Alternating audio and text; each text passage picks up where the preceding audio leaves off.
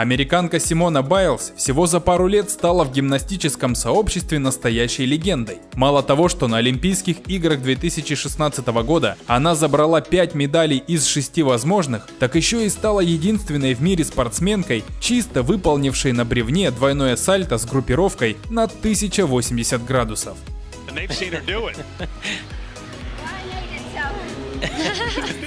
Возможно, в этом нет ничего удивительного, но какова вероятность, что двое человек, не сговариваясь, будут идти настолько синхронно?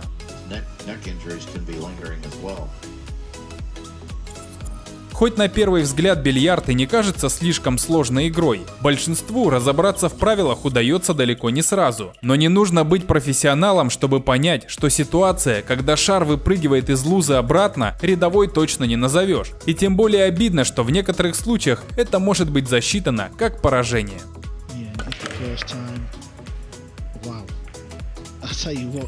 пляжном волейболе яркое солнце и ветер зачастую могут сыграть на руку команде, а вот в зале куда важнее техника. И если силовую подачу трудно взять из-за скорости полета мяча, то планер из-за непредсказуемость. При правильно планирующей подаче мяч словно потряхивает в воздухе, и он запросто может ускользнуть из подставленных рук последнюю секунду. Чарльз Баркли и Деннис Родман давно зарекомендовали себя как самые недисциплинированные и конфликтные игроки. Но что касается самой игры, за мяч они будут биться по всем правилам и до последнего.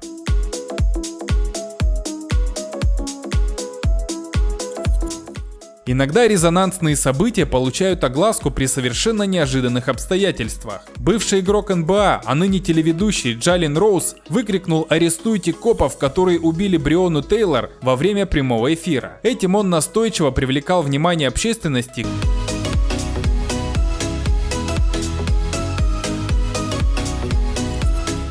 Ни для кого не секрет, что мексиканцы народ импульсивный. Но когда в июне этого года мексиканские болельщики остались недовольны финальным матчем Лиги наций и зашвыряли все поле мусором во время игры, это было слишком даже для них. Впрочем, безобразное поведение зрителей не помешало сборной США обыграть Мексику. Но тренеры обеих команд были просто в ярости из-за полного отсутствия уважения к происходящему на поле и ко всем усилиям, которые команды вкладывают в игру.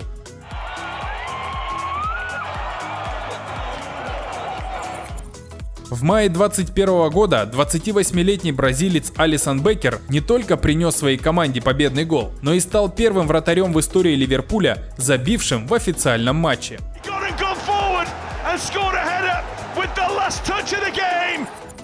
Если вы думаете, что качели это скучное детское развлечение, то что вы скажете о Неви Свинг, самых больших качелях в мире, подвешенных над каньоном реки Невис в Новой Зеландии? Кроме того, что лететь предстоит со скоростью 120 км в час, до смотровой площадки еще предстоит добираться около 4 часов, а стоит это удовольствие около 10 тысяч за прыжок.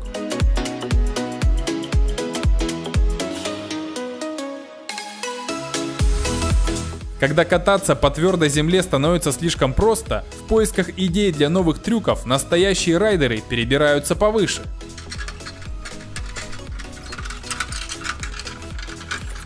В начале 2019 года американский юниор Мэтью Боулинг пролетел 100-метровку среди школьников всего за 9,98 секунды, а в конце июля уже отправился на юниорский чемпионат Пан Америки и привез оттуда целых 4 золотых медали, попутно установив два личных и два мировых рекорда.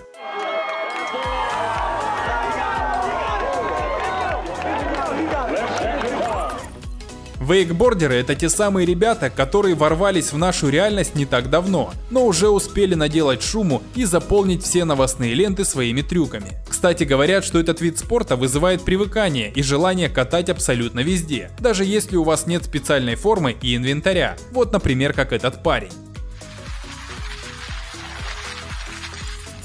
Исландский гигант Хафтар Бьорнсон – один из сильнейших людей на Земле, впечатливший своими габаритами даже создателей Игры Престолов. Он проиграл мужчине, который по сравнению с ним выглядит далеко не так внушительно. Впрочем, давайте будем объективны. Его соперник Девон Ларат – действующий чемпион мировой лиги армрестлинга и считается одним из сильнейших в своем деле.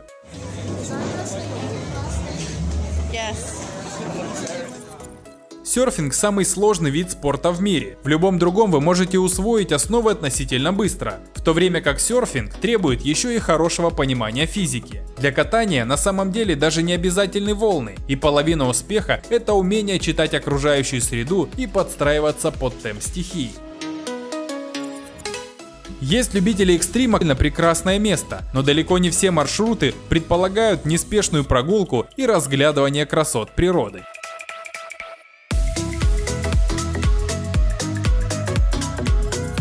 На самом деле это уже вторая авария, произошедшая на мотогонке в Макао. Но после того, как заезд возобновили, уже на втором круге в повороте участниками массового столкновения стали сразу шестеро гонщиков, как минимум троим из которых при выборе скейтборда. Для чего он будет использоваться? Вряд ли вы купите скрипку, если хотите научиться играть на гитаре. Вот и с досками то же самое. И этот парень явно знал, что он делает. Электромаунтинборд сравнительно новое и достаточно дорогое удовольствие, но для катания по сложным трассам трассам и горам это именно то, что нужно.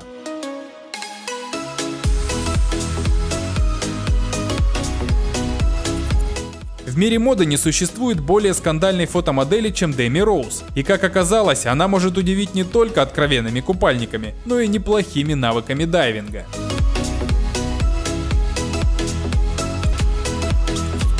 Все мы видели, как баскетболисты крутят мяч на пальцы, хоть и мало кто может сказать, какая в этом практическая польза. На самом деле все не так сложно, как кажется на первый взгляд, и для освоения этого трюка требуется лишь четкое понимание простейших законов физики и время. Конкурсам красоты и особенно выходу в бикини участницы готовятся особенно ответственно, и мало кто сможет остаться равнодушным, когда шоу начинается. Так что неудивительно, что даже техническая группа не удержалась от соблазна запечатлеть такое эффектное зрелище. Полеты на параплане и ему подобных приспособлениях часто называют чуть ли не самыми яркими впечатлениями в жизни, и можно только догадываться, какие эмоции